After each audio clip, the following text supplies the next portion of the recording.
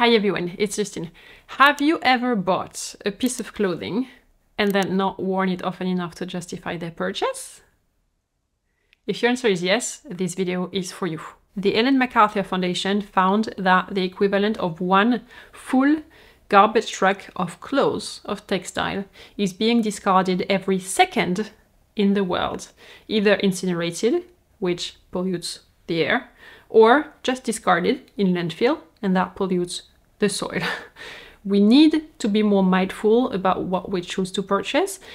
This is my checklist to help you buy less but better clothes. When you're in a shop and you see a garment you like, ask yourself first, do I really need this garment? Is that a question I should be asking myself? No me digas.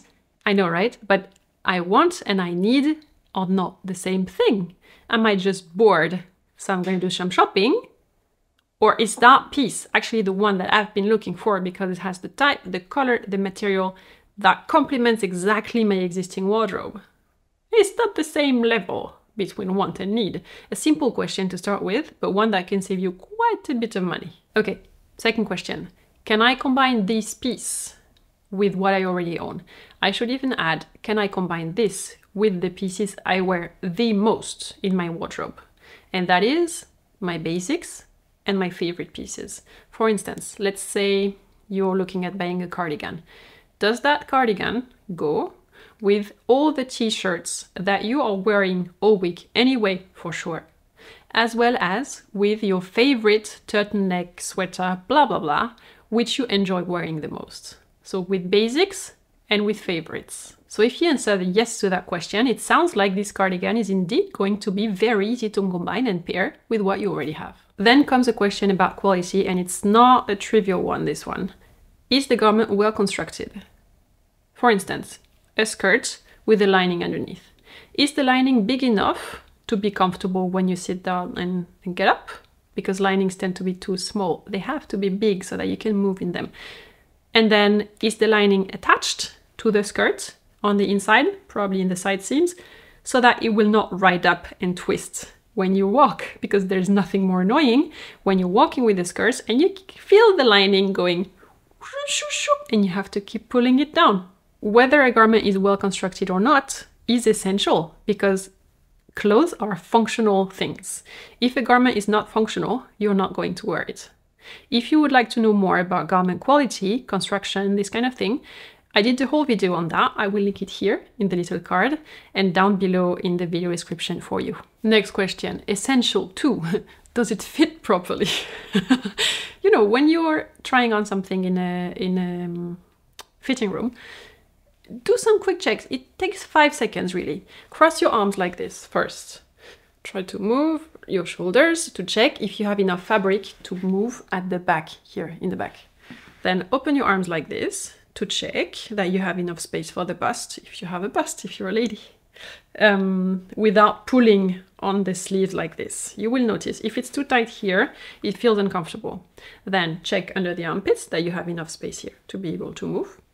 Then hold your sleeves in place, raise your arms, check if the hemline is long enough for your taste. If you're buying pants, sit down in them. Usually you have like a stool or something in the fitting room use it, sit down on it, check that you have enough fabric at the back to cover your bum. For jeans especially, check that you also have enough fabric around the thighs, around the quadriceps to be able to move properly. I have a video about how to find jeans that fit properly. It's somewhere on my channel. I will find it. I will link it here and down below as well for you, in case you haven't seen it yet. The next question is, what is the environmental impact of that material? And here comes my favorite, sequins. A sequin dress looks amazing, especially on New Year's Eve, but it's one of the worst options for the environment.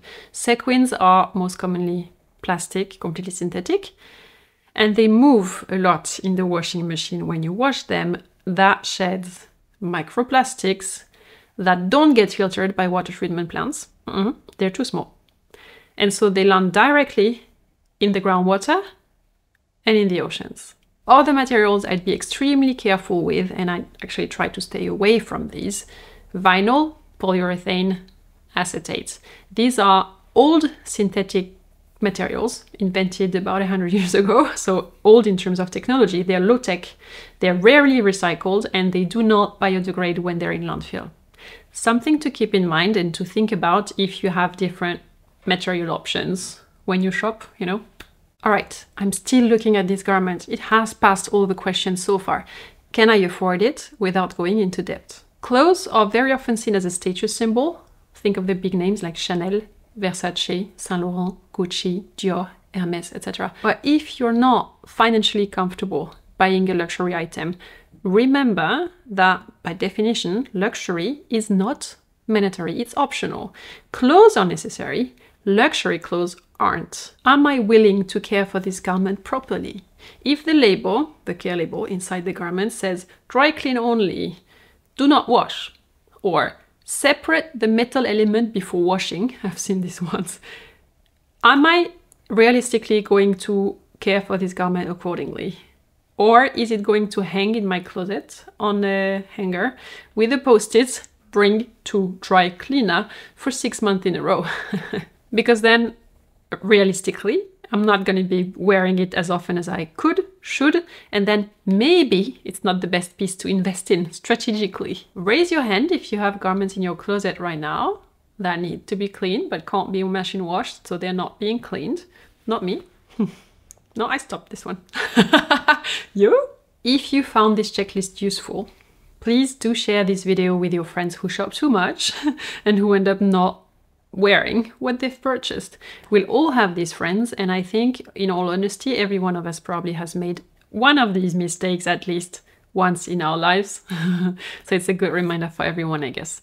If you've watched until here, please do subscribe to my channel. Thank you so much. I leave you with this video next, also linked down below, about how to recognize good versus bad garment quality, because knowing more on this will save you from poor shopping decisions, I'm sure. It already has 1.7 million views.